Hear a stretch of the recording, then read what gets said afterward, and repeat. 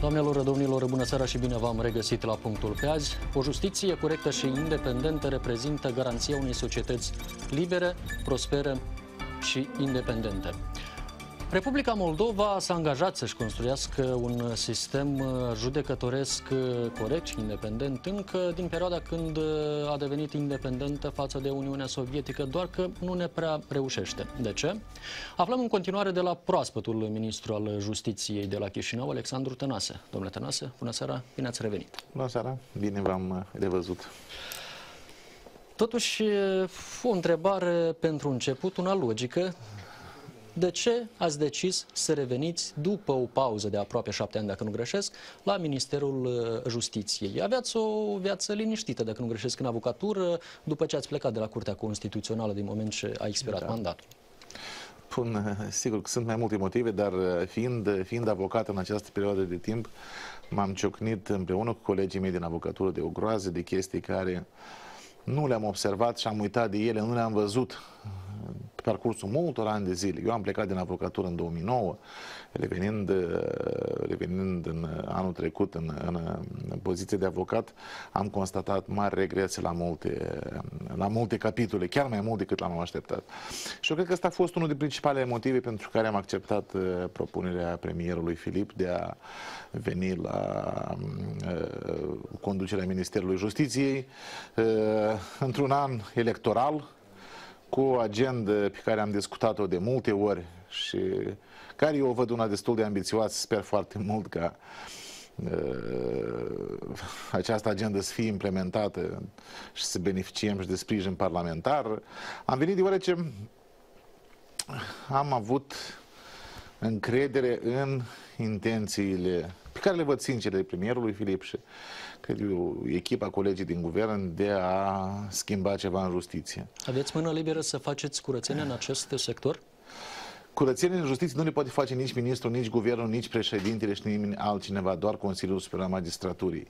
Funcția de ministru al justiției permite doar promovarea unor proiecte de legi care ar impulsiona aceste procese. Și uite, asta este ceea ce vrem să facem noi și asta este ceea ce, pe, pe ce vrem să ne axăm în, în perioada imediat următoare, deoarece suntem într-un an electoral Evident că agenda Parlamentului, vreți, nu vreți, va fi marcată într-un fel de, de, de acest element și cred că avem în față 6-7 luni de zile până, până se încheie sesiunea de vară a Parlamentului, când putem promova anumite proiecte de legi care să rezolve o serie de probleme uh, stringente care sunt în, în justiție și nu doar în justiție, ele sunt și în uh, și în procuratură, ele sunt și în, și în avocatură. Mm, sunt foarte multe uh, proiecte uh, care au fost lansate și nu au mai fost, nu mai fost duse până la bun sfârșit. Adică mi-a luat mult timp să, să enunț cam toate, toate prioritățile. Dar v-a luat mult timp ca să chipzuiți asupra propunerii venite din partea premierului? Uh, adevărul este că am, am avut mereu o comunicare permanentă cu premierul Filip, chiar după ce am plecat de la, de la Curtea Constituțională. Dumnealui uh, tot timpul a vrut să aud un punct de vedere vis-a-vis -vis de ceea ce se întâmplă în, în justiție, din afara sistemului, deoarece uh, opiniile care vin din interiorul sistemului, fie că sunt mai subiective, fie că deja uh, percepția asupra anumitor realități este distorsionată, fiind în avocatură și mai departe, mai departe de, de, de cele ce se întâmplă în justiție, Probabil că aveam ocazia și posibilitatea să-i ofer anumite, o anumită expertiză și un anumit punct de vedere uh, diferit de cel care îl putea obține în mod oficial pe, pe canalele absolut obișnuite guvernamentale. Și este foarte util. De altfel, fiind în funcție, deja în funcție de ministru, uh, mi-am propus să am o comunicare foarte intensă cu mediul avocaților, cu mediul experților, uh, pentru a auzi anumite apăreri despre cele, ceea ce se întâmplă, care în mod obiectiv nu le poți colecta vizitând instanțele, nu le poți vedea uh, așa cum sunt ele, cât de prost n-ar arăta ele. Înainte de a discuta despre tot ceea ce se întâmplă în uh, justiție, vreau să vă întreb, pentru că aveți un mandat scurt, să recunoaștem, mai puțin de aproximativ un an de zile. După expirarea mandatului la șefia Ministerului, vă revedeți iarăși în politic, alături de Iurie Leancă, spre exemplu? Nu, nu. După, vă, vă spun foarte clar, după ce mi închei mandatul la minister, Eh, cred că voi reveni în avocatură, eu cred că va fi un nou guvern, va fi o nouă putere politică pentru patru ani de zile care vor avea alte priorități. Eh, situația se va reconfigura în mod cert și în mod cert eh, preferințele se vor schimba. Eu nu, nu fac niciun fel de planuri. În principiu, agenda mea, hai să zicem așa, profesională, pe care o văd în în, în perioada, cât sunt la minister, este vorba de promovarea unor proiecte de lege. Eu am intenționat această săptămână să fac public uh, uh, principalele teze de reformă, dar din păcate mai ia ceva timp, deoarece uh, anumite situații care le-am constatat fiind deja în birou de ministru uh, diferă de anumite estimări care le făcusem anterior și o să mai ia câteva zile, dar sper săptămâna viitoare să finalizăm acest proces ca să putem, uh, să putem veni cu anumite idei de reformă. Pot, pot să enunț doar câteva câteva chestiuni importante care sunt cele mai stringente. Am mai, am mai spus și cu alte ocazii. Este vorba de aplicarea arestărilor preventive. Este problema, cred eu, cea mai importantă, care, care generează nemulțumirea oamenilor, nemulțumirea avocaților, distorsionează sistemul, uh, distorsionează inclusiv uh, principiile fundamentale ale unui, ale unui proces echitabil și aici cred că vor fi primele intervenții cu care vom, cu care vom veni. Am discutat acest subiect ieri și la Consiliul Superior al Magistraturii, uh, unde, de altfel, chiar și membrii CSM sunt impacientați, sunt deranjați de ceea ce se întâmplă. Nu este doar percepția mea sau percepția avocaților sau a societății, chiar și însăși mediul... Dar nu au suficient de pârghii, mă refer la CSM, pentru a interveni, pentru a curma aceste... Domnul este foarte complicat, dacă nu imposibil, pentru cineva să intervină în procesul de luare a deciziilor la unui judecător. Lucrul ăsta este ilegal. Nimeni, nici măcar CSM, nu poate da indicații unui judecător, domnule, fii atent, cum aplici arestarea preventivă. E vorba de bună credință sau de... Este vorba de o practică care a degradat treptat. Noi nu am, noi nu am ajuns la situația dată peste noapte. Sunt ani buni de când uh, s-a, s-a, inițial cu pași mai mici, pe urmă cu pași mai mari, pe urmă când deja au bătut alarma uh, avocații, societatea civilă, că există o problemă la, la acest capitol, există o problemă cu justiția penală. Statisticile indică asupra acestei probleme. Uh, doar că lucrul ăsta, sau nu știu, nu vreau să zic ce s-a făcut până acum, dar uh, pentru moment cred că vom veni cu o serie de modificări legislative care ar trebui să redreseze brusc situația. Vom încerca, inclusiv cu, cu uh, specializarea judecătorilor, cred că chiar săptămânile viitoare vor, vor fi luate niște decizii la nivel de Consiliul Superior al Magistraturii privind uh, specializarea judecătorilor în municipiul Chișinău, astfel încât uh, să nu mai poată procurorii să-și aleagă judecătorul la care merg după mandatul de arest, astfel încât să fim siguri că repartizarea aleatorie este una aleatorie și astăzi sunt sigur că instanțele sunt condițiile ca nimeni să nu intervină, să nu preseze judecătorul să ia o decizie sau alta. Inclusiv la uh, nivelul instanțelor de apel, de câte cunosc că săptămâna viitoare vor fi mai multe, mai multe acțiuni uh, care vor fi întreprinse chiar cu participarea CSM pentru a discuta acest subiect și sper foarte mult ca într-o perspectivă de 6-7 luni de zile să redresăm situația, să ajungem la o,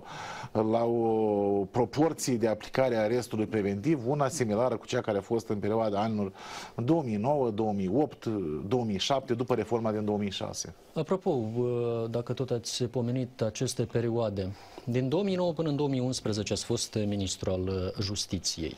Prin comparație. 2010. 2010, da, da. O lună de zile. Aproximativ 2 ani. Ați fost Nu, nu, nu, nu un a an? fost mai puțin, a fost un an și un ceva. An? Da. Bine.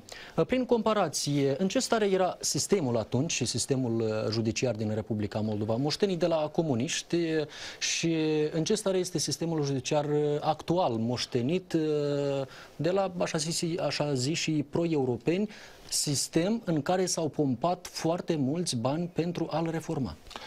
Bine, eu cred că Bun, să încep altfel. Nu știu cât de, cât, cât de exact ar fi o asemenea comparație, deoarece realitățile sunt total diferite. În anul 2009, când am venit la Ministerul de Justiție, lucrurile nu mergeau tocmai bine, dar există domenii în care lucrurile mergeau mai bine, în mod special pe justiția penală, pe măsuri preventive, aveam alte statistici și lucrurile erau mai, mai echilibrate, deoarece s-a făcut o reformă în 2006-2007 care a readus cadrul normativ în corespundere cu cerințele jurisprudenței Curții Europene. Acum mai am altă situație. Sunt domenii unde lucrurile merg mai bine sunt domenii unde cele... Bun, hai să zicem să luăm celeritatea procesului. Sigur, cum este alta. Nu, nu mai avem proceduri care se tergiversează cu ani. Mă refer, e endemic. Noi nu mai avem problemă neexecutării hotărârilor judecătorești ca problemă, e endemică. Uh, statisticile, chiar și la Curtea Europeană a Drepturilor Omului, arată o scădere, uh, dacă nu greșesc eu, de 4 sau de 5 ori a numărului de cele care sunt admisibile și care sunt uh, judecate de, de Curtea Europeană. Dar asta nu înseamnă că, nu înseamnă că lucrurile merg perfect. Avem o problemă de comunicare, avem o problemă de percepție, a justiției. Uh, sunt lucruri bune care s-au întâmplat. S-au schimbat un număr impună, impunător de judecători. Cred că 30%, 35% din judecători au fost schimbați. Avem judecători tineri. Acești judecători tineri sunt pregătiți în mare parte. Acești judecători tineri nu i-am, eu vorbesc de mine acum, nu i-am remarcat și nu am niciun semnal, nici în presă nu am văzut despre implicarea în scheme, șmecherii, acte de corupție. Adică avem un, o bază de la, de la care putem porni să construim ceva. Ceea ce cred eu că este foarte important să uh, realizăm în, în, în, în, la etapa, etapa dată. Trebuie să generăm tot mai mulți pionieri a schimbărilor pe interiorul sistemului judecătoresc. Au fost 200 de judecători numiți noi, dar care este garanția că acești 200 de judecători, spre exemplu, nu vor fi absorbiți de sistem? Asta este și temerea pe care o am eu, asta este și subiectul care l-am discutat și cu primul ministru și probabil aici vom interveni cel mai dur astfel încât, astfel încât acești oameni care au venit, care nu sunt compromiși în mare parte, care nu au uh, nimic de ascuns, să devină de fapt forța motrică a reformei în justiție. Vreau să înțeleg un singur lucru. Sunt eu la Ministerul Justiției, nu sunt. Eu mâine pot pleca, în locul meu va fi altcineva. Uh, problema nu se va schimba. Nu este posibilă schimbarea pe justiție atâta timp cât nu avem nu beneficiem de un minim de încredere și sprijin din partea societății. Dacă societatea nu ne va oferi acest minim de încredere și acest sprijin, orice reformă riscă să fie compromis. Un element extrem de important în reforma judiciară, el ține de percepție. Nu atât de... Eu nu știu câte ori ați fost dumneavoastră sau cineva din colegii dumneavoastră implicați în procedură judiciare, dar o percepție aveți și dumneavoastră și cei care nu au intrat în sala de judecată. Eu cred că avem nevoie de un Dar parte... percepția noastră care este? Păi dacă vă amintiți că am fost la dumneavoastră aici cu domnul Lean, că nu eram încă ministru și nici nu știam că am să vin la Ministerul de Justiție, eu am, am, am, am spus un singur lucru care vreau să-l repet și astăzi. Eu cred că subiectul reformei judiciare trebuie scos din zona speculațiilor și competiției politice. Cine mai bun, cine mai deștept, și cine acumulează mai multe bile albe sau negre. Eu cred că este anume acel subiect care trebuie să devină o prioritate națională, indiferent de simpatii sau de antipatii. Și în felul ăsta noi putem identifica o agendă comună, acceptată cu societatea civilă, acceptată de uh, mediul de afaceri, acceptată de uh, comunitatea avocaților, care într-un fel să ne scoată din mocirla în care ne-am pomenit. Vreau să vă zic că am avut parcursul săptămânii acestea, fapt care, fapt, și m-am împiedicat să fac public um, principalele teze de, de, de, de reformă. Am avut mai multe consultări cu colegi care um, îi cunosc foarte bine din societatea civilă. Și pe lângă faptul că am încercat să stopez gheața, care, fără de care nu, nu, nu este posibil, am constatat că, de fapt, a lipsit un dialog între putere și societate civilă. El a lipsit cu desăvârșire. Păi și cine a fost de vină? Bun, eu acum dacă am să încep să caut vinovați și am să spun că toată lumea este de vină, doar eu sunt... Nu, nu ar fi, corect. fi corect. Și chiar nici nu, nu, nu mai contează în situația dată. Fiecare probabil are partea sa de vină. Sau mai ales când se ajunge la un conflict, stai să te descurci cine a fost, cine prima a aruncat piatra, nu mai are niciun haz. Altceva contează. Trebuie să avem un dialog cu societatea civilă, trebuie să avem un dialog cu presa, cu presa de investigații, trebuie să manifestăm deschidere. În felul ăsta, ă, problema reformei judiciare, ca fiind pilonul oricărei alte reforme. Domnul Munteanu, noi nu avem bani la buget, noi plătim puțin plătim salarii de 3, 3.000 și ceva de lei pe lună. Noi niciodată nu vom reuși să avem mai mulți bani până când nu va fi un mediu de afaceri care să dea impozite. Noi nu vom avea un mediu de afaceri atâta timp cât justiția nu va furniza hotărâri previzibile, clare, corecte și bazate pe lege. Adică toate lucrurile sunt legate. Nu interesul meu sau interesul, nu știu, cu atât meu că n-am nici partid în spate și nici cred că prea mulți simpatizanți. Dar este interesul societății să mișcăm lucrurile, lucrurile din punctul ăsta mort în care noi suntem. Noi, noi suntem în punctul ăsta mort, de fapt, nu de un an și nu de doi. Câțiva ani de zile. Cât Dar cine a adus justiția în acest hal? Pentru că, iată, acel raport privind indicele percepției integrității publice pentru anul trecut. A clasat justiția de la Chișinău pe locul 105 din 109 state. Eu am văzut, am văzut acel, acel, acea știre mai exact. I-am chiar am scris un mesaj prietenului meu, domnul Ioniț, care a fost responsabil de acest proiect. El mi-a furnizat mie datele care sunt. Vreau să zic că, de fapt, datele sunt altele. Este o concluzie a jurnalistului. Bun, asta nu înseamnă că eu vreau, cum Bine, să zic... știam și eu undeva. Uh, este una cum analizez aceste date. Nu, nu, nu, nu. Eu uh, nu vreau să zic că acum lucrurile stau ideal în justiția moldovenească, dar nici nu suntem în zona Zanzibarului. Vreau să fiți foarte, foarte siguri de chestia asta. Eu știu, în calitatea mea de membru a Comisiei de la Veneția, cunosc care este starea justiției în mai multe state. Moldova nu este un dezastru, și nu este o, o, o, o excepție. Toate statele care vin din zona postcomunistă au probleme cu reforma judiciară. Există probleme cu reforma judiciară și în România observați care este dezbaterea publică la acest sens. În Polonia și-a dat demisia președintele Consiliului Suprem Magistraturii că nu este de acord cu reformele promovate în justiția. În Ucraina e o situație foarte fierbinte, sunt câteva mii de judecători nenumiți în funcție, la Curtea Constituțională de un an de zile nu au președinte. În uh, Ungaria ați văzut rapoartele care sunt externe de starea justiției justiției.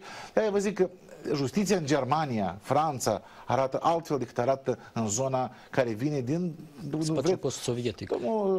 Cum să vă zic, noi nu putem arunca la gunoi jumătate de secol de mentalitate comunistă. Și dacă poți compensa lipsa de mărfuri prin import, o anumită cultură, fără de care nu e posibil o justiție liberă, nu o poți importa. Și un transplant de mentalitate nu-l faci. de eu cred că noi trebuie să ne focusăm pe crearea de instituții și consolidarea instituțiilor. Avem una, o premiză foarte bună. În sfârșit este aleasă conducerea uh, Agenției Naționale de Integritate. Această instituție, cred eu, va deveni funcțională în câteva săptămâni de zile. Această instituție va avea un rol cheie în verificarea integrității, inclusiv a judecătorului. Cred că toți cei care sunt uh, subiecții care cad sub incidența legii vor trece prin acest uh, filtru. În felul ăsta va fi posibil de eliminat din serviciu public, nu doar din justiție, persoanele care au probleme de integritate, eliminate printr-o procedură simplificată, astfel încât să poți aduce alți oameni noi în aceste funcții. Uh, avem un CSM nou, încă urmează să, să-și încheie mandatul câțiva membri vechi, dar el a fost în mare parte împrospătat.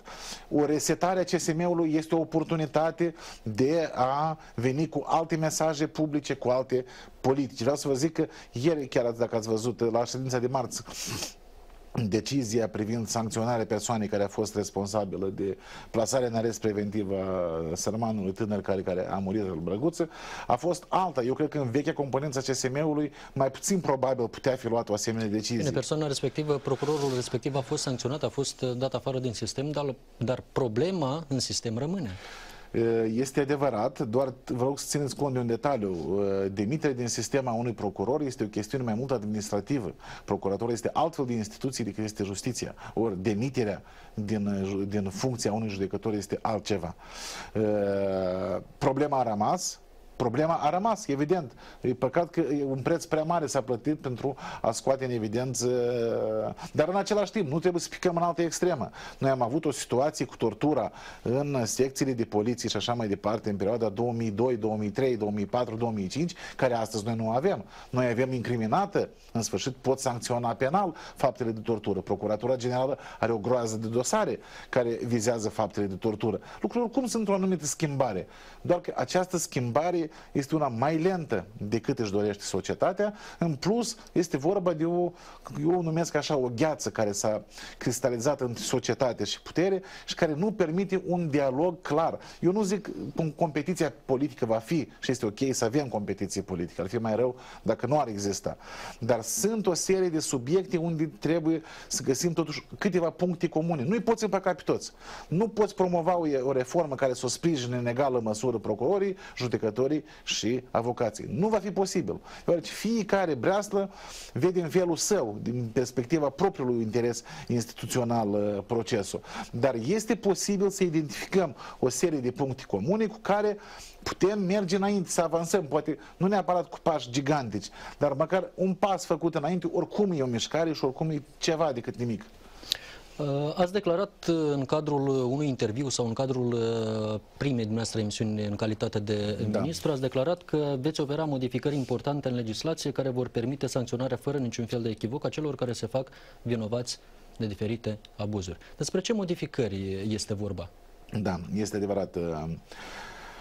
Uh, Vom, uh, legea, așa, uh, legea și acum prevede asemenea posibilități, doar că aceeași lege prevede mai multe posibilități de eschivare și de uh, eludare a anumitor sancțiuni. Eu uh, n-aș vrea să mă acces pe chestiuni tehnice, vreau să îmi cer scuze, probabil că am declarat pentru presă că în săptămâna aceasta voi veni cu un, cu un briefing. Am preferat să-l amân, dar vreau să am consultații, sport consultații, nu doar cu colegii din guvern, vreau să discut cu societatea civilă mai întâi și vreau să am o discuții cu, hai să zic așa, cum se numesc la noi, partenerii de dezvoltare. Este vorba de principalele uh, ambasade de la Chișinău pentru a cădea de acord asupra anumitor acțiuni. De ce, de ce este necesar acest lucru? În cazul în care noi nu vom avea o înțelegere comună, noi nu vom beneficia, și acțiunile care urmează a fi întreprinse, ele nu vor fi sprijinite, noi nu vom avea niciun rezultat. Dar aveți un draft al acestei inițiative sau evident, evident, evident, noi când vom face, când vom face publică chestia asta, sigur că o să distribuim și un comunicat de presă pe toate. Trebuie să ținem cont de un lucru, draftul. Noi suntem obligați oricum să mergem pe o formulă de, de planificare strategică, deoarece eh, potrivit uh, agendei noastre urmează a fi elaborată următoarea strategie de reformă judiciară pentru următorii ani, care trebuie să traseze direcții strategice în care se va dezvolta justiția moldovenească. Și sigur că, indiferent de, de, de prioritățile pe termen scurt, noi vom veni cu enunțarea și unor direcții magistrale de dezvoltare pe termen cel puțin mediu, dacă nu lung, că astfel încât societatea să poată să înțeleagă cam cum vedem noi justiția, să zicem, într-o perspectivă de un an, doi. Bine, și cum, cum o vedeți dumneavoastră personal? Uh, dacă ar fi să simplific mesajul, eu vreau ca să avem o justiție care face dreptate. Asta Astăzi este... nu prea face dreptate. Justiția nu face dreptate, din păcate. Chiar și în cazurile când dă soluții corecte, oamenii nu au senzația că s-a făcut dreptate. Eu vreau să vă spun, uh, uh, nu știu, justiția trebuie făcută nu doar corect, dar trebuie făcută astfel încât oamenii să vadă că se face dreptate. Este o chestie de percepție. Probabil că uh, sunt mai multe domenii, dar justiția este unul, cred că, dintre cele mai sensibile, unde percepția și încrederea publică sunt elementul cheie. Dacă nu reușim să, să, să facem acest lucru, eu vă spun că poți da legi perfecte, poți avea hotărâri judecătorești perfecte, dar dacă nu vei avea încredere și uh, lucrurile nu vor merge bine. Dar în ce măsură societatea, pentru că ați menționat rolul esențial, uh, mă refer la sprijinul societății în reforma justiției, uh, dacă la justiție ne referim, în ce măsură cetățeanul poate avea încredere în justiție în condițiile în care vedem foarte mulți unii judecători, procurori, cu mașini de lux pe care le indică în declarațiile de avere ca fiind procurate la un preț de nimic, de 10.000 de lei sau... Munteanu, am văzut Apropo, și de unde, de unde am găsesc citit, uh, am citit și eu aceste, am văzut și eu aceste investigații, am văzut și eu mașini care costă 10.000 de lei, eu nu știu cum poți să iei mașini de 10.000 de lei, probabil, nu știu, uh, chiar, chiar, chiar nu vreau cum să și nici nu contează până la urmă E o problemă de sistem. Eu sper foarte mult că acum, după ce a fost înființată, creată și a devenit, cred eu, funcțională Agenția Națională de Integritate, ca uh, inspectorii de integritate, care, apropo, conform legii, beneficiază de independență totală, nici măcar șeful agenției nu le poate, uh, nu le poate obstrucționa anchetele inspectorul de integritate să vină la un orice funcționar, fie că este judecător, fie că e altceva ministru sau ce fi acolo, să nu trebuie, domnule, cum poate o mașină să coste 10.000 de lei și atunci societatea va primi aceste răspunsuri. Când se va întâmpla lucrul ăsta, eu cred că și oamenii vor începe să creadă în, în instituții. Un singur lucru vreau să-l menționez, l-am menționat chiar și cu alte ocazii, probabil și la dumneavoastră în emisiune.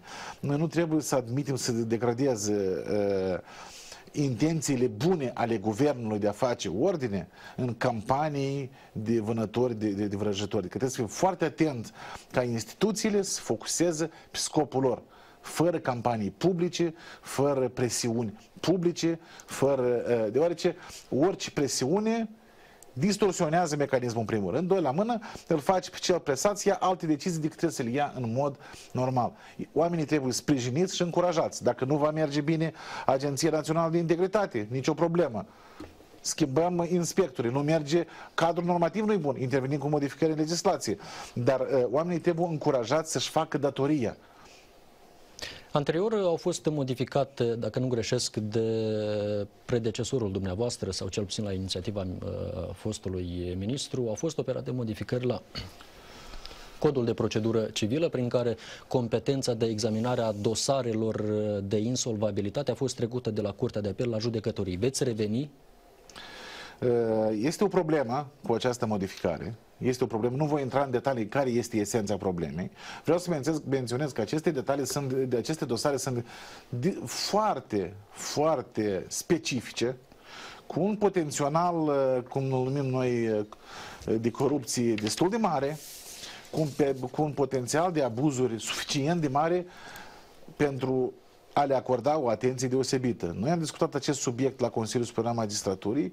Mâine va avea loc o ședință la CSM special pe acest subiect cu, pentru a identifica uh, acele soluții, astfel încât procedurile care au început și durează ani de zile să fie derulate în condiții normale, în continuare, fără a tergiversa. Trebuie să înțelegem că în spatele procedurilor de insolvență nu sunt simpli oameni, sunt oameni de afaceri, este businessul care este afectat este vorba de afectarea și unor interese inclusiv financiare a celor care creează joburi, care creează locuri de muncă și care plătesc impozite.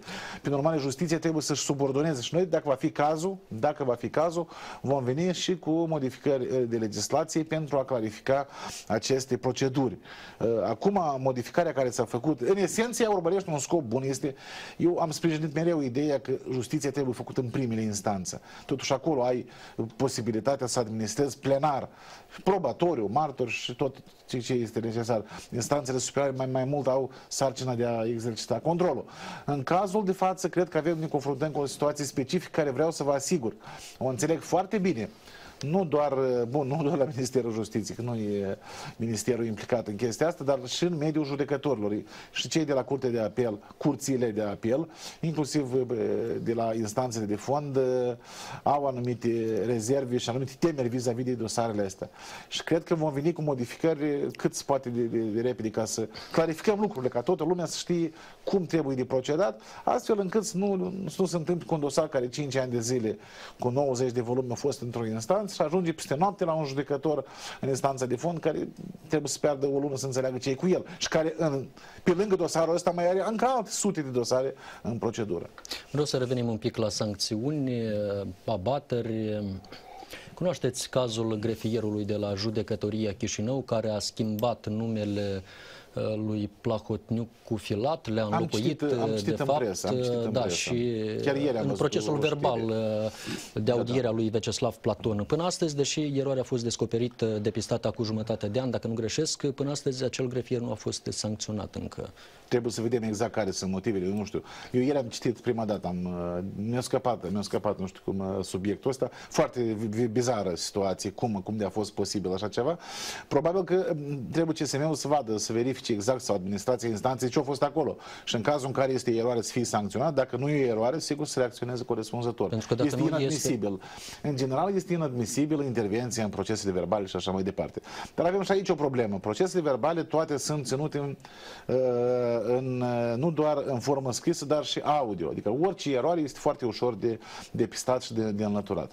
Cred Pentru că dacă nu este o eroare, atunci apare întrebarea la indicația cui a înlocuit păi, iată, eu vreau să vă spun un singur lucru. Uh, un, uh, o situație de genul ăsta uh, îmbrește multe lucruri faine care se fac în justiție. E adevărat. Uite, fiți de acord, poți face lucruri fantastice, dar uite un detaliu de genul ăsta le stup toate restul și nimeni niciodată nu, nu să le observe. Deci este foarte important ca, fie că este vorba de Consiliul Superior al Magistraturii, administrația instanțelor, însăși managementul instanțelor, când se confrunt cu, asemenea, confrunt cu asemenea situații, să ia decizii foarte rapid să sancționeze persoanele vinovate. Orice ezitare în sensul ăsta, evident că generează neîncredere. Cu atât mai mult, sincer să fiu, chiar nu-mi dau seama care e rostul să modifici într-un proces verbal scris așa ceva, având, având audio records ăsta care poate accesa oricine, de la procuror până la avocat care, care, care contestă sau are acces la dosar. Domnule să reușiți în mandatul dumneavoastră scurt să aduceți o misiune europeană pentru justiție la Chișinău? Trebuie să înțelegem ce înseamnă misiunea europeană pentru justiție. Din ce punct... am văzut în Bulgaria, stat membru al Uniunii Europene, au solicitat nu, Din de punctul meu de vedere, dacă mâine Uniunea Europeană vine și îmi spune, uite, noi suntem gata să vă oferim, eu nu văd niciun obstacol și nu cred că cineva din colegii mei s-ar opune. Uh, eu mi-amintesc perioada când eram la Curtea Constituțională, am avut uh, propunerea din partea Uniunii Europene să delege o misiune de evaluare a curții, am, s-a evaluat, s-a făcut un peer review, o revizuire amicală, foarte de altfel pe toate dimensiunile. A fost în beneficiul nostru. S-a făcut pe mai multe instituții, din păcate restul nu le-au publicat. Noi am decis chiar să o publicăm, este și acum pe site-ul Curții Constituționale. Pe lângă, pe lângă lucrurile care sunt ok, care le-au remarcat, și anumite e, luminițe care roșii s-au aprins, ele sunt utile pentru instituții. Eu nu cred că guvernul s-ar opune unei asemenea misiuni. Trebuie să înțelegem Dar solicitarea nu trebuie să vină de la Chișinău? Dumneavoastră credeți că, chiar credeți că solicitând o asemenea misiune mâine va fi acceptată de cineva? Eu cred că uh, suntem foarte optimiști în sensul ăsta. Eu mi amintesc mai multe discuții despre implicarea străinilor în... Uh, în uh, vă amintiți, toată povestea a fost și cu procurorul general din afara Republicii Moldova. Dacă veți căuta atent, nu veți găsi nicio reacție pozitivă a partenerilor de dezvoltare. Fiecare țară așa are și fiecare clasă politică și are propria responsabilitate pentru modul cum gestionează treburile în țară. Dar dacă vorbim de o misiune de evaluare, o misiune care să ne asiste să schimbăm lucrurile, eu nu văd nicio problemă. Este în beneficiul nostru. Poftim. Domnule Tănăs, astăzi justiția poate fi considerată o bâtă în mâna guvernării, pentru că ați văzut și dumneavoastră uh, în declarații publice, în anumite emisiuni la diferite posturi de televiziune, primarii se plâng că sunt hărțuiți, șantajați, presați cu dosare penale.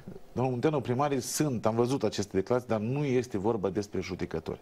Judecătorii nu pot intenta dosare penale și nu pot presa primarii.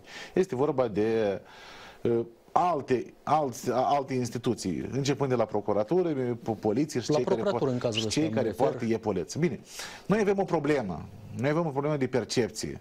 Uh, din păcate, din păcate, mentalitatea nu o schimbi într-o singură zi și cei care lucrează, fie că în procuratură, în poliție, chiar și judecători, uh, ei undeva se simt parte a mașinii represive a, statului, a statului. Ceea ce este greșit. Justiția nu trebuie să fie preocupată nici de combaterea corupției, nici de combaterea criminalității. Judecătorul trebuie să aplice exact legea. Dacă persoana este vinovată să fie sancționată, dacă nu este vinovată, indiferent de presiuni, persoana trebuie achitată. Asta vreau eu să, uh, cum să zic, semnalul de alarmă care vreau să-l trag. Acum, în partea care ține despre presiuni, vreau să vă zic că nu numai primarii se confruntă cu presiuni și nu neapărat toate presiunile vin din zona politicului. Noi avem o problemă. Mediul de afaceri este hărțuit. Pe parcursul ultimelor 4-5 luni de zile, oamenii se sufocă de controle, intervenții, vedem la televizor, uși sparte, ă, ă, măști, calculatoare sustrasă, activități blocate pe 5, 6, 7 luni de zile, după care se constat că stai că oamenii poate că nu erau vinoveți și așa mai departe. Eu cred că așa asta este un domeniu prioritar. Avem și trebuie... un dosar pierdut la CEDU recent. Percheziții sunt, neîntemeiate. Sunt mai multe dosare la CEDU care vizează abuzurile comise. Eu nu vreau cum zic că toată lumea la un moment dat, din toate instituțiile au fost implicați în, în chestia asta. Întrebați orice om de afaceri ce se întâmplă. Că îi vine ecologia, îi vine fiscul, îi vine asta. și, dacă cineva crede că guvernul este fericit, Deci asta, vă spun că nu este așa. Cel puțin, uh, din câte am, mi-a explicat premierul uh, Filip, uh, această controversată discuție care s-a purtat în jurul decriminalizării business-ului, ăsta a fost motivul cheie. Oamenii de afaceri nu vor să li se spargă ușile, să li se sequestreze activitățile, ei nu vor ca cizma polițistului, procurorul sau cuiva să vină încolo. Dacă a comis o, un delict, delict comercial sau chiar dacă este o infracțiune, să fie sancționat, dar să nu fie comise abuzuri. Și cred că eu nu am acum încă mandat și nu știu care sunt, dar în mod cert și în această zonă se va interveni foarte rapid. Noi nu avem timp, domnul Munteanu.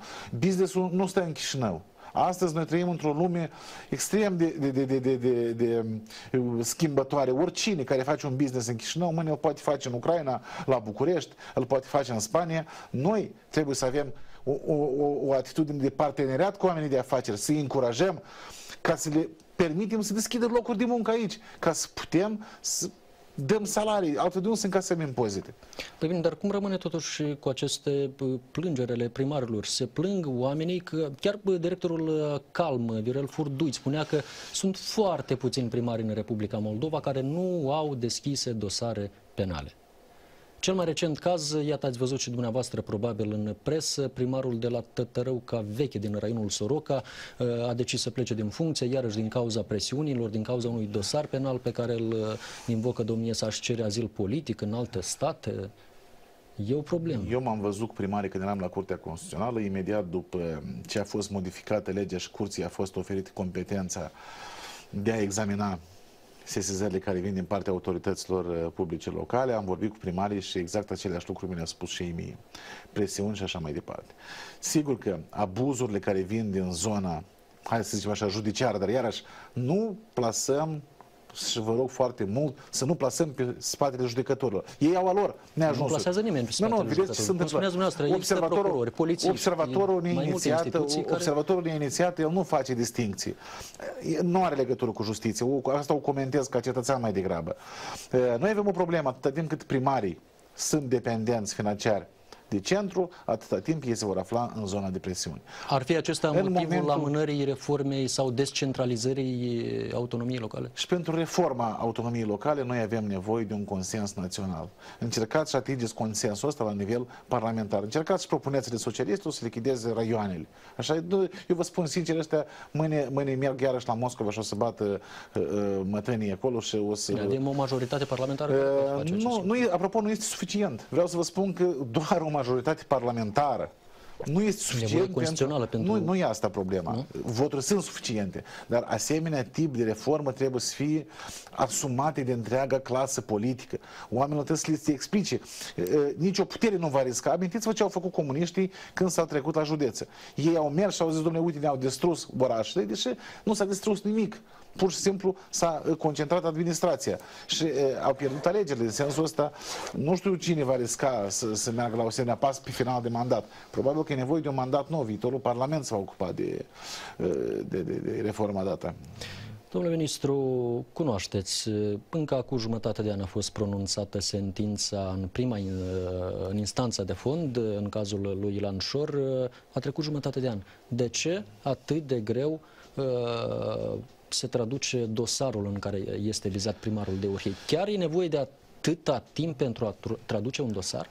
Și mie mi se pare uh, ciudată toată situația dată. Eu, din păcate, nu am dreptul legal nici să intervin, și nici comentez ce se întâmplă pe procedurile pendinte. Dacă era deja un dosar finalizat cu o procedură, cu o sentință irrevocabilă, aș fi putut să-l... Să și în cazul de față, eu cred că judecătorii care au în procedură acest dosar trebuie să înțeleagă. Este un dosar cu interes public, trebuie să manifeste mai mult celeritate exact ceea ce vorbeam cu dumneavoastră la începutul discuției noastre. În situația când te confrunți cu o problemă sensibilă public, ca și magistrat, trebuie să fii foarte atent în sensul ăsta și să acorzi prioritate. Eu înțeleg că sunt foarte multe dosare, ei sunt plini, au sărmanii, nu, nu doresc nimănui asemenea volum de muncă, dar trebuie să-ți prioritizezi astfel, astfel, cum să vă zic eu, acțiunile, astfel încât oamenii să vadă că justiție se face. Bine, dar totuși a trecut jumătate de an. Iată, din experiența dumneavoastră, uh, de cât timp ar fi nevoie? Bine, nu cunoaștem, ni, nu cunoaștem nimic volumul dosarului. Ca avocat în anul, am început în anul uh, 2007, așa e, și am revenit uh, la avocatură uh, anul trecut, în 2017 și el abia atunci uh, s-a încheiat acel dosar.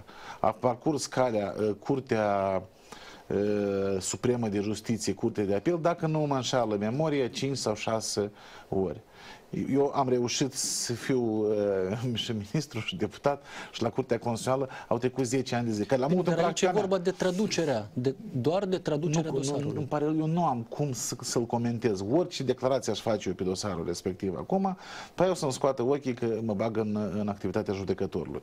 Nu, nu, nu voi comenta nimic, niciun dosar absolut care este acum pe instanță, eu nu vreau să-l comentez, mă împiedică legea să fac lucrul ăsta.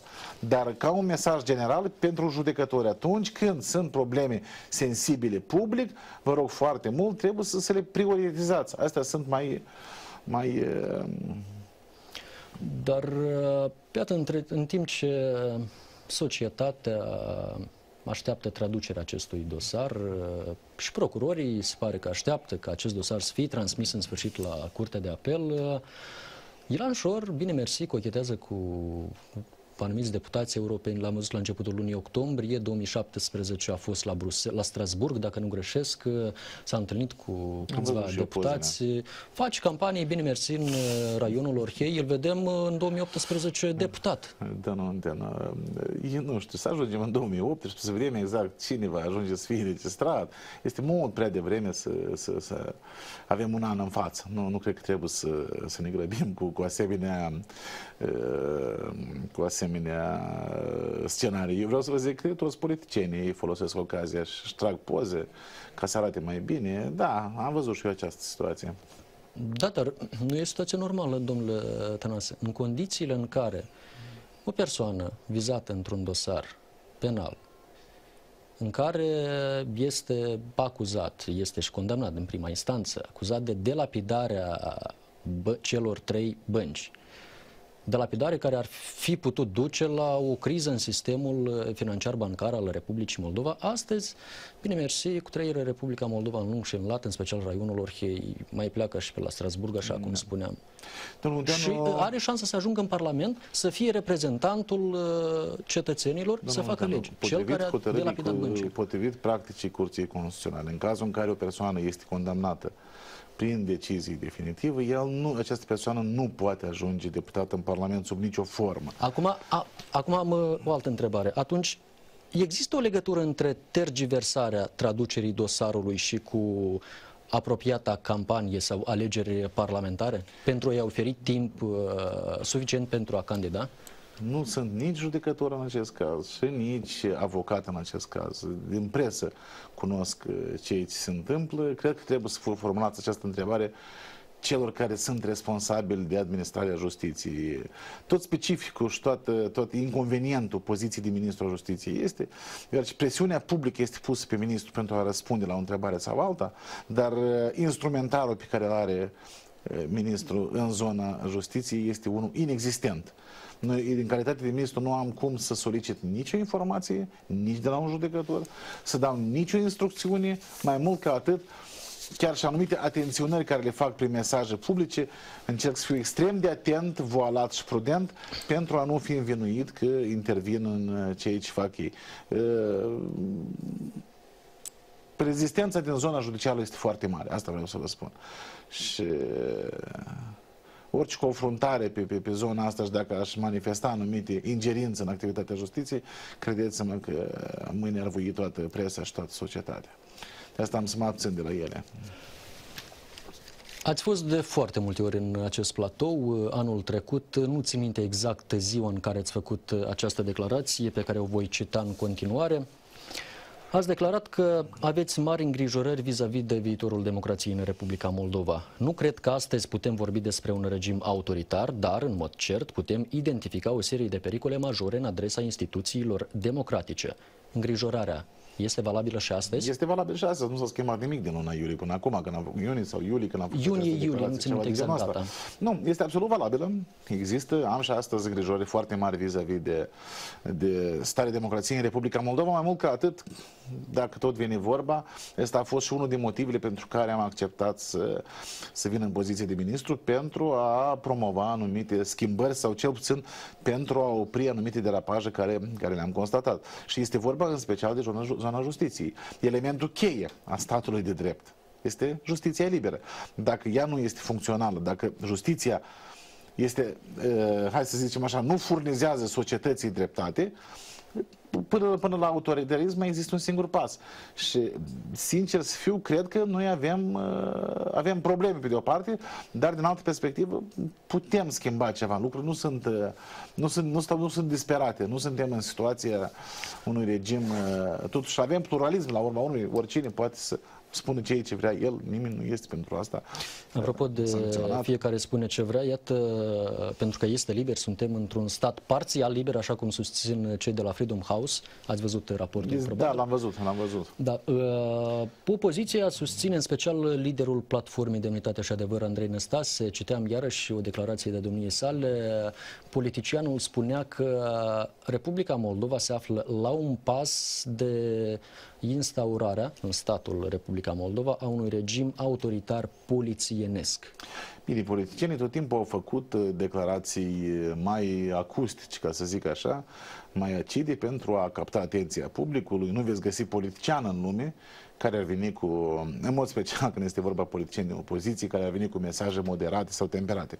Altfel nimeni nu te, nu te observă. Vis-a-vis -vis de starea justiției, vreau să vă spun, uh, cineva din presă m-a întrebat zilele astea, că uh, au existat multe critici în adresa mea și cum, uh, cum am reacționat. Și eu pot să vă reproduc exact Foarte mulți vă pun în solda lui Vlad Plahotniuc. Păi uh, este cea mai simplă soluție, poți să-l pui pe care vrei în orice sold. Eu știți ce, cum le-am răspuns? Asta este răspunsul meu pentru... În situația când poți critici ministrul de justiție și pentru asta nu pățești nimic, totuși demonstrează că trăim într-o anumită democrație. Asta nu e atât de rău. Eu vreau să spun că într-un regim autoritar nu poți critica pe nimeni fără a suporta consecința. Atâta timp cât uh, în calitate de membru a guvernului merg pe jos, n-am de gaz, oricine poate să mă critique, eu cred că noi trăim totuși într-o democrație. Dar avem probleme la capitolul ăsta. Și uh, mai mult, mai mult ca atât, nu, nu, nu mai puțin vreau să vă spun. Uh, riscul de deraiere de la democrație spre autoritarism, el persistă oriunde. Este important ca societatea să fie vigilent, societatea să reacționeze când se întâmplă ceva și în felul ăsta punând presiune pe cei care sunt deținătorii puterii ca mereu să se mențină în câmp constituțional. La noi ce se întâmplă? Noi avem o groază de situații când, de fapt, sunt aduse ofense ordinii constituționale și nimeni absolut nu reacționează în sensul Inclusiv din zona președinției. Inclusiv din zona președinției. Bun, acum nu cred că vreau să-l critic, am, l-am criticat de ajuns pe președintele Dodon, dar este un element, da, un element când în zona președinției uh, sunt aduse ostentativ ofense, ofense uh, ordinii constituționale și nu doar zona politică, dar nici societatea ca atare nu n-am văzut-o prea, prea deranjată.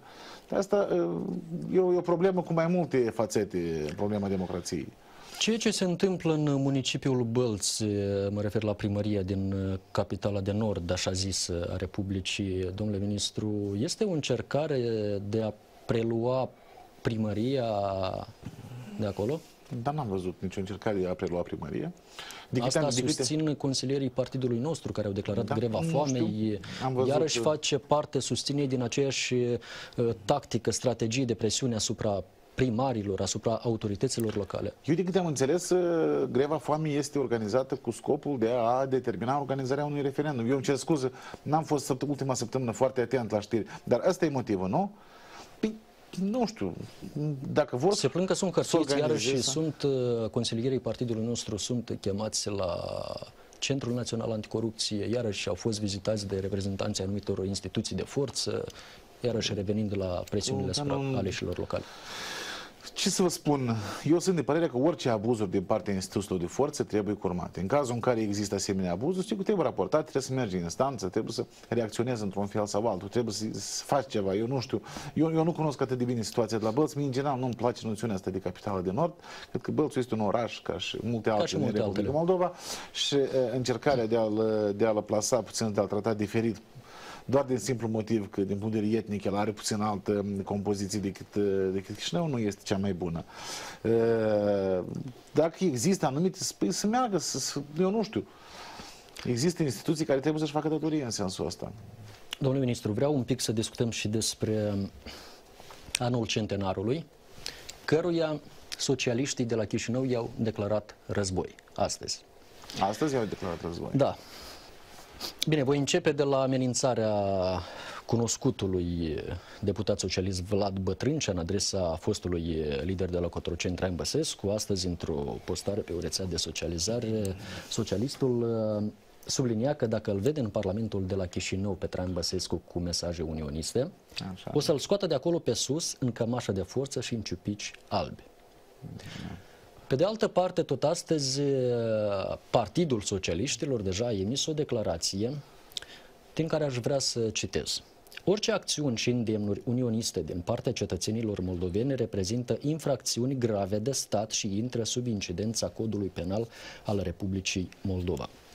Domnule ministru, sub incidența codului penal intră dreptul de a te considera român sau uh, ceea ce a făcut, spre exemplu, Igor Dodon atunci când i-a decorat pe liderii mișcării separatiste din autonomia găgăuză, mă refer la Stepan Topal, Mihail Kendighelean, cu cea mai înaltă distincție în stat.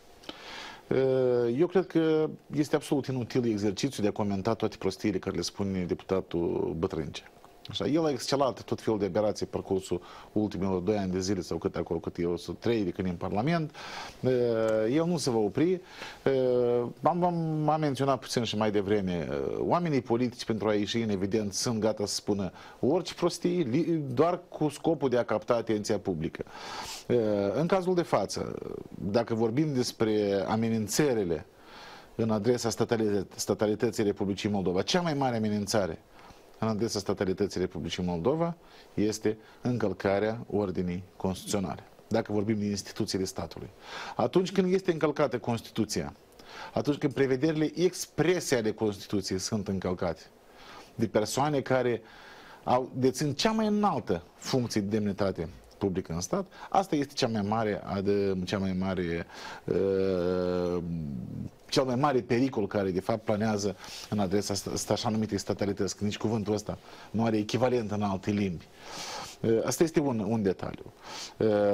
În partea ce țin de mesajele unioniste, în Republica Moldova, atât timp cât suntem o țară democratică, atât timp cât libertatea de expresie există, orice mesaj, cu excepția mesajelor xenofobe, de genul celor care le promovează socialiștii, homofobe, extremiste, fasciste, comuniste, astea, astea, astea sunt uh, potențial periculoase. În rest, orice mesaj care promovează un anumit punct de vedere, fără incitare la violență, fără incitare la schimbare prin forța ordinii de stat, fără încălcarea legii, el nu prezintă nici un pericol. Vreau să fie foarte clar. Există hotărâri ale Curții Europene, inclusiv a Curții Constituționale, care spun același lucru. Orice mesaj poate exista, cu excepția mesajelor, sigur că unanim recunoscute ca fiind periculoase, comuniste, fasciste, toți care vin din, din, din zona asta, autoritare, incitări la ură interietnică, rasială și așa mai departe.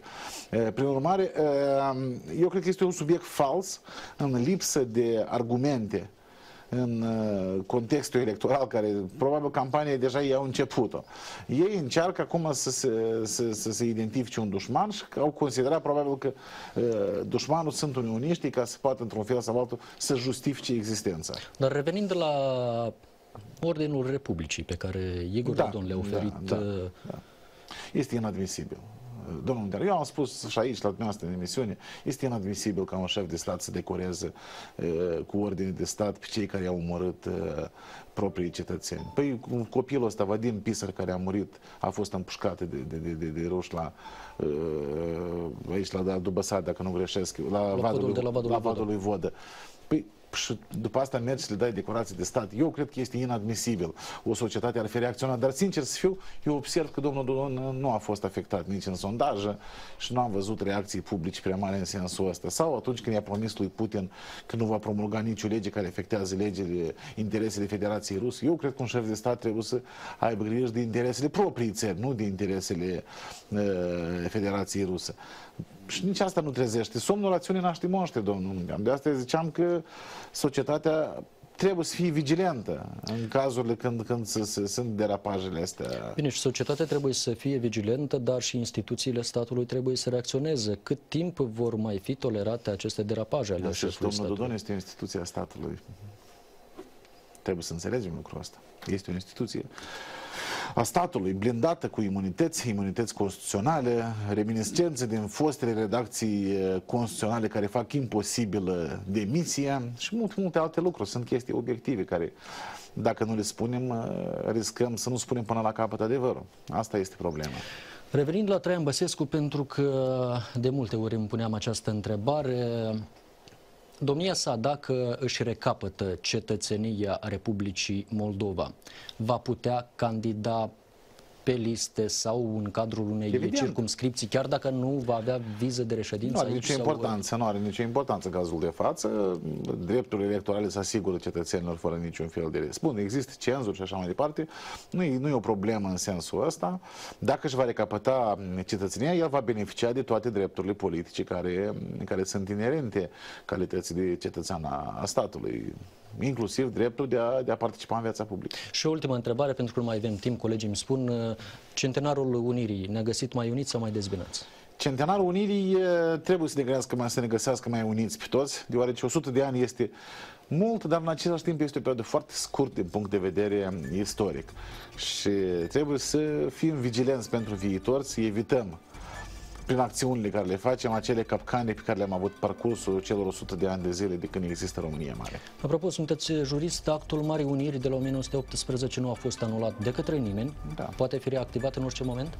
Păi, de Care moment ce nu a fost anulat și România a fost recunoscut în frontierele actuale, el este valabil. Domnule ministru, vă mulțumesc, din păcate nu mai avem timp, ne mai revedem cu alte ocazii, cu siguranță. Cu Doamnelor, domnilor, vă mulțumesc și dumneavoastră pentru atenție. Eu vă dau întâlnire deja săptămâna viitoare. Până atunci, toate bune. La revedere!